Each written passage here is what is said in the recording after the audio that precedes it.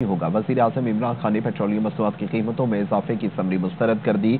उगरा ने तेल की कीमतों में चौदह रुपए तक इजाफे की तजवीज दी थी।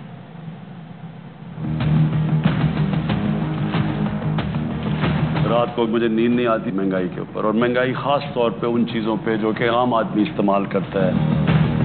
पेट्रोल महँगा और रहा था उन्होंने जो उसको और महँगा नहीं किया। ये फैसला अच्छा है। वज़ीर अजम साहब के इस इकदाम से हम बहुत खुश हैं कि उन्होंने गरीब आवाम का ख्याल रखा।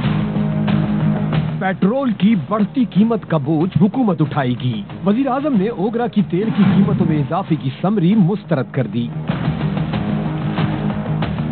वज़ीर आज़म ने पेट्रोल 11 और डीजल 14 रुपए बढ़ाने की समरी मंजूर नहीं की।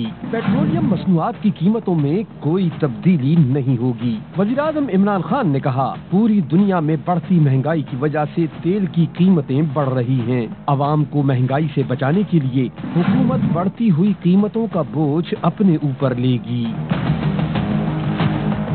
ओगरा ने तेल की कीमतों में चौदह रुपए तक इजाफे की समरी वज़ीर आज़म हाउस भेजी थी, जिसमें पेट्रोल फ़ी लीटर बारह रुपए बढ़ाने की तजवीज शामिल थी।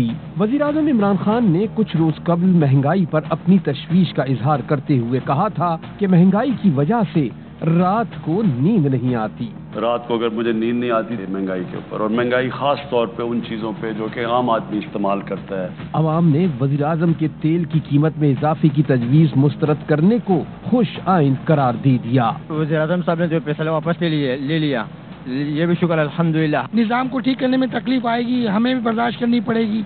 तो आहिस्ता आहिस्ता करके सब कुछ ठीक होता चला जाएगा। आवाम के लिए बहुत अच्छी बात है कि बारह रुपए वापसी ले लिए। बहुत खुश हो जाएँगे क्योंकि हमारे लिए बहुत अच्छे और आजकल सब चीज़ें पेट्रोल से चलती है। मुल्क में इस वक्त पेट्रोल एक सौ अड़तालीस रूपए इकतीस पैसे फ़ी लीटर मिल रहा है। डीजल की कीमत एक सौ पैंतालीस रूपए ग्यारह पैसे है।